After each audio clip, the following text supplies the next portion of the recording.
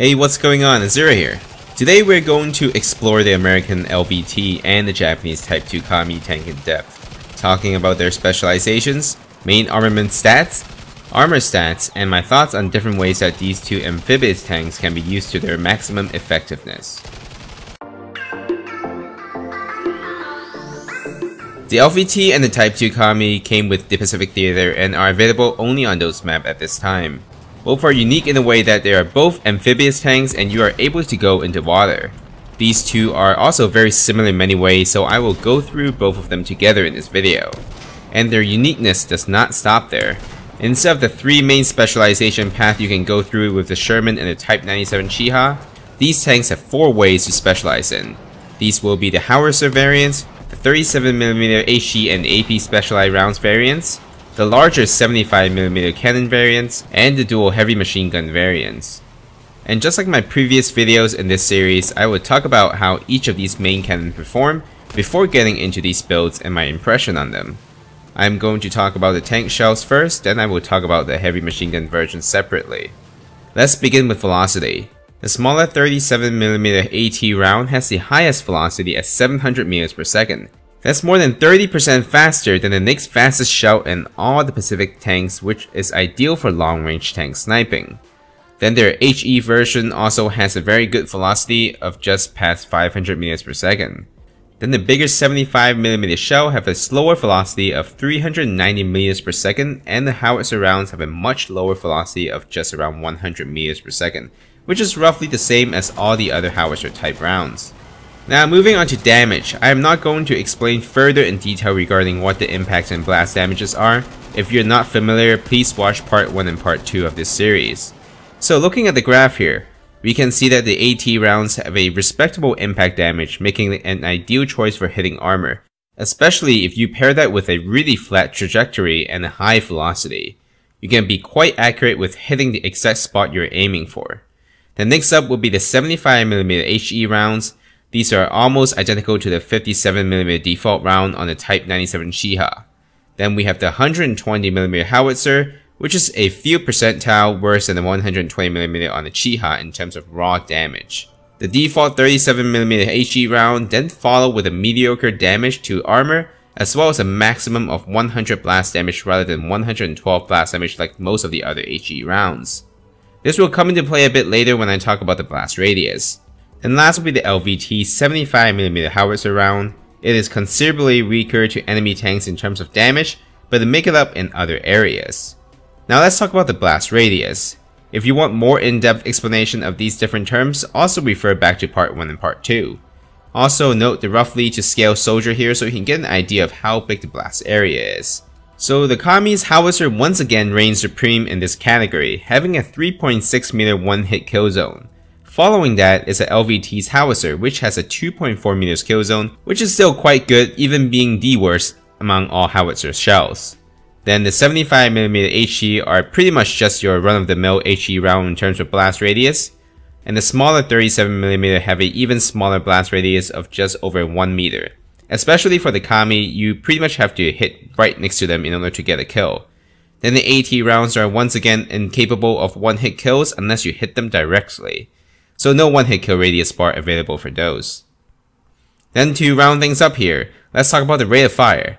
The smaller 37mm cannons actually have a very fast rate of fire of 25 rounds per minute which can get an additional 10% increase through specializations.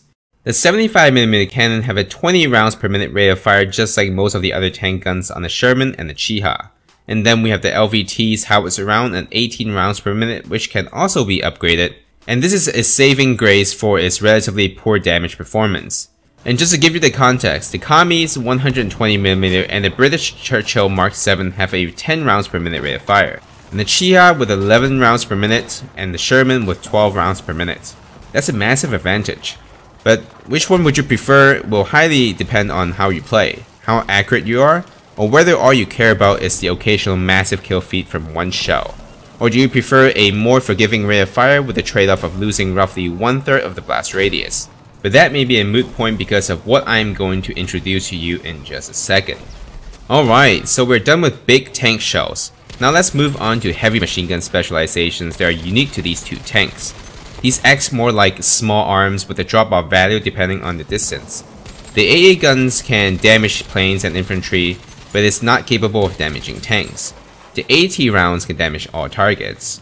And the AA rounds have a drop off from 58 damage up to 15 meters to 34 up to 75 meters. That means it can 2 hit kill an enemy up to around 35 meters or so, and then 3 hit kills at any distance after that.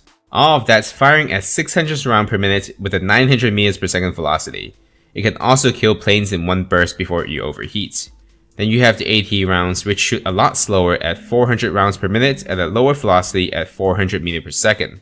The damage drop off is also lower against infantry, taking up to 4 bullets to kill at further distances. It also deals moderate amount of damage to tanks. Because nobody other than DICE coders know how exactly all variables work in terms of spitting out the actual damage, I am not able to tell you how exactly these compare to actual tank shells in terms of how fast they kill. What I can show you are some footage of how much damage it deals shooting at different parts of the tank. If you aim at the front, side or turret of the tanks, it is really quite weak and can take up to 5 or 6 or even more bursts to kill a tank, especially if they are far away. But if you are able to sneak behind them, you can do some ridiculous damage for what it is. Here you can see me dishing out roughly maybe half to two thirds of the damage per second compared to bigger cannons on the Sherman tank when I was aiming at the turrets but if you are able to catch them by surprise, you can deal some massive damage. Here, you can see me doing 75 damage in one burst, and that's insane. Anyway, let's not get too far ahead of ourselves here. Let's get back to the armor of the LVT and the Kami. They are both identical so we can talk as if they are the same. So let's first explore the weak points of the tanks. So unlike the bigger tanks like the Sherman and the Chiha with a higher multiplier of its rear, and then lower on the side and then the front and then the turrets. These tanks actually have the same maximum multiplier of 1.67 times for the rear, the side, and the turret, with a much worse multiplier for the front. And remember that for all surfaces of the tanks other than the turrets, impact of angle matters for impact damage and these multipliers. That means unless you can get an almost perfect perpendicular shot with a 5 degree margin, you're better off aiming at the turret for maximum damage. But that's not to say that you shouldn't consider hitting other parts. Remember disabling tracks and engines can still be very important in these situations. On the right here, you can see the frontal view of the LVTs on top and the Kami on the bottom. Because the front armor has such poor multipliers, you are far better off hitting the tracks directly to aim at a decent multiplier as well as to disable the tracks. It is quite important especially for the Kami because of its high mobility. You want to do all you can to prevent it from escaping. But if hitting the tracks is a bit more difficult, hitting its turrets would be your next best option. I don't want to say that you should never hit the front, especially if both tanks are moving fast and you're not confident in hitting those parts. You are most likely better off just taking the shot at the biggest area because a poor hit is better than a complete miss. Then moving on to defensive angle. And despite the significant difference of armor values of the Sherman and the Chiha compared to these tanks, this is actually not that different. The best angle to minimize your incoming damage is to angle your tank 42 degrees or if you can look at your HUD, just a tad bit past the midline of the diagonal lines. These will cause your incoming rounds to deal only 0.6 times impact damage, which is particularly useful against AP rounds. Alright, now we're done with these graphs and numbers. We can talk a bit about my impression of these different builds I've tried. There are basically 4 different major paths you can take and there are minor variants you can choose between depending on your playstyle and preferences. The first would be to default 37mm cannon with the AT shell build. This build gives a decently effective anti-tank option with the AT shells and a rapid fire main gun to deal with scattered infantry. You do need to be quite accurate with your shots to get a one-hit kill. Overall, this is somewhat mediocre in performance, with a lower anti-tank capability compared to your solely land-based tanks, and a similar anti-infantry performance. Unless you like to be able to flank using open water as flank routes for a worse damage performance, then this may not be your best bet and you are better off using a Sherman or the Chiha. Then the next would be the 75mm build. For that particular build, it would perform similarly to a stock Chiha tank without the AT rounds. It also has a much lower rate of fire compared to the stock cannon, and a slightly larger blast radius compared to the 37mm counterparts. This build is quite lackluster in my opinion and may be worse than the 37mm build. The third would be to use the howitzer upgrade. This is the one that are a bit more different between the two tanks. The LVT will be able to do more rapid fire smaller shells rather than using one of the biggest shells in the game for the Kami with a much lower rate of fire. The Kami Howitzer build also comes with a coaxial flamethrower so if you like to use that, that's an option you can go for. If you take the left side tree here, you do lose the engine upgrade that gives the Kami a unique edge on high top speed zooming around on the map and doing some epic flanks crossing islands through the oceans. And just a side note here is that if you do use a flamethrower as coaxial, you can use it to damage even enemy tanks between your shots. But the objective to use the howitzer cannon is to deal massive damage to the enemy infantry. And although this option is not a bad one, there is another one that stands above the rest by a large margin. This build brings out the full potential of the tank and specializes in one thing and one thing only. It would be the HMG build. MG42s can step aside when you bring this bad boy to the fight.